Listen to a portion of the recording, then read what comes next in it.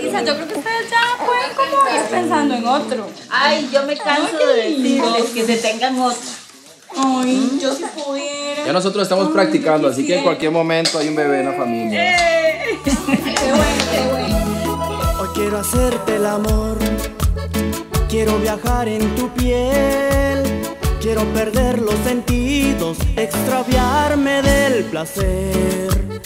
Quiero comerme tu boca mientras despojo tu ropa. Vale, ve, vea el desorden que hizo. ¿Y si cuándo le va a decir? Isa,